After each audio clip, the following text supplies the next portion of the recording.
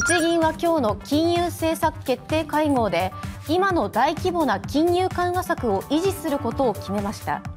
すでに打ち出している新型コロナウイルス関連の対策の効果を見極める考えです。日銀はすでに政府の新型コロナウイルス対策と連動する形で資金繰りに苦しむ企業の支援策など複数の政策を打ち出しています。企業がお金を集めるために発行する社債の買い入れや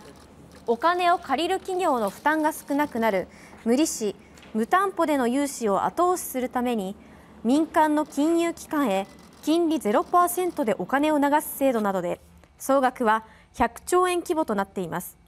日銀は3月と4月の会合で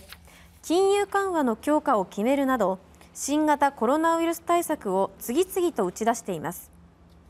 新型コロナウイルス危機が長期化することも警戒しつつこれまでの対策の効果を点検することにしています。